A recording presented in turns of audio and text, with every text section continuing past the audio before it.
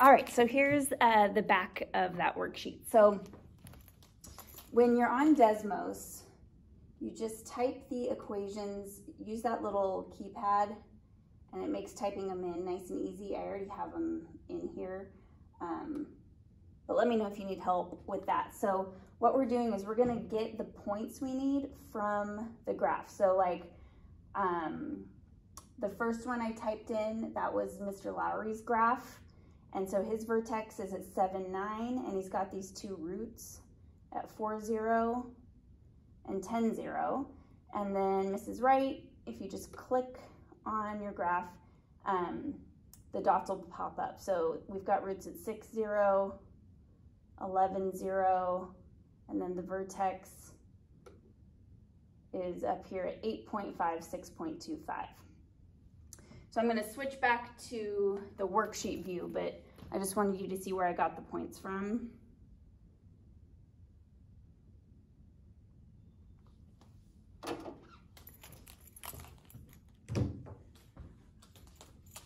All right, so um, the points for Lowry's graph, our roots were at 4, 0, the vertex was 7, 9, and then the other root was at 10, 0. So then I can plot those points on the graph. So right here at 4, 0, at 7, 1, 2, 3, 7, 9 is the vertex, and then at 10, 0. So then um, his graph looks kind of like that, okay? So the distance is from 4 to 10. So the distance his balloon was 6 yards. The height, it the tallest height it went was 9 yards. And then our other parabola had roots at 6, 0 and 11, 0. And then the vertex was 8.5 and 6.25. Okay, so 6, 0 is right here. 11, 0 is right here. And then the vertex is at um, 8.5, so a little beyond 8 and then up to 6.25. 1, 2, 3, 4, 5, 6.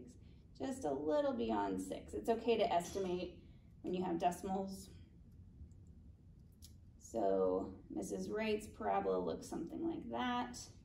So the distance was from 6 to 11, which is just 1, 2, 3, 4, 5 yards. And then the height was just up to 6.25. So whose water balloon went the farthest? Lowry's did, and the highest was also Lowry. So his distance was 6 versus 5. His height was 9 versus 6.25. Okay. All right, so then parabolas in football. So how far was each throw? So they were thrown from the same spot and caught at the same spot. The difference is um, Metcalf's was higher than Lockett's. See, Lockett's was lower, but they started and stopped at the same place, which is down to, if this is 15 and this is 20, 16, 17, 18, so 18 yards. And how high was the throw to Metcalf? So you go up to the highest point, the vertex over to the side, and it was 10, 10 yards.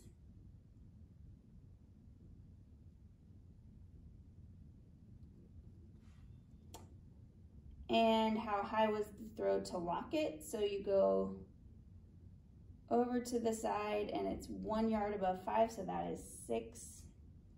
Go ahead and put my yards on there. And how far away from Wilson was the ball when it was at its highest? So Wilson's standing right here at the zero yard line. And then for both of the throws, they were at their highest at nine yards.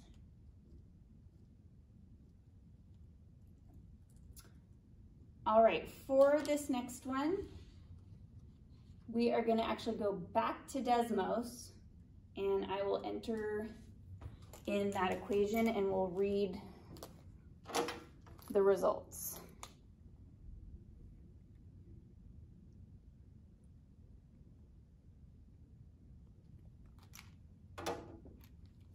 All right, so we're back in Desmos. I'm gonna just X out of these two equations and then I'll enter in my new one. So negative 0.75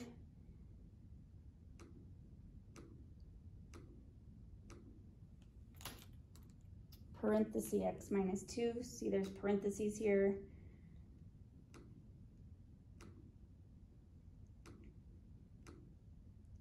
And then that's squared and then plus 4.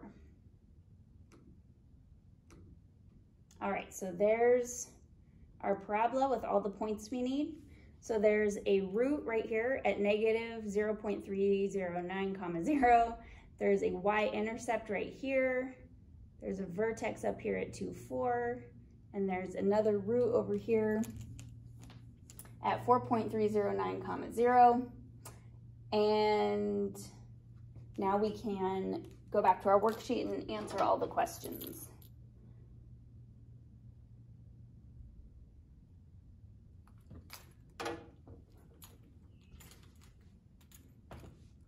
All right. So from Desmos, we saw the um, vertex is at 2, 4. So I'm going to go ahead and graph that too. 1, 2, 1, 2, 3, 4.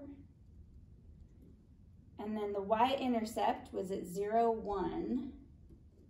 So that's at 0, 1 right here. The roots were at negative 0 0.309 and at 4.309. So that's kind of tricky to graph exactly, but that's okay. Um, it just means between zero and one, it crossed at negative 0.3, which is really close to the line there. And then at one, two, three, 4.3, so a little beyond the four. So this is kind of what our parabola looks like crosses through all those points and then points down. Okay, so the vertex is a maximum. It opens down. And the line of symmetry, remember that goes straight through the middle, straight through the vertex. And we said the vertex is 2, 4. So we're, whatever x is in the vertex, that is your line of symmetry. So x equals 2 and then describe the direction of the graph. This can be interpreted a lot of different ways. What I'm saying is from when you look at it going from left to right, what's happening is the y values are increasing. y is increasing until 2, 4, then it turns and decreases. So you can say this a few different ways. Basically, we're saying y is getting bigger and bigger, y is going up, and then it, at the vertex it kind of stops or it makes a turn, and then y is decreasing. That's what we're talking about with the direction of the graph. You could say from left to right, the y values are increasing, then reach the vertex, then decrease, something like that. All right, I hope that was helpful to get you ready for test number eight.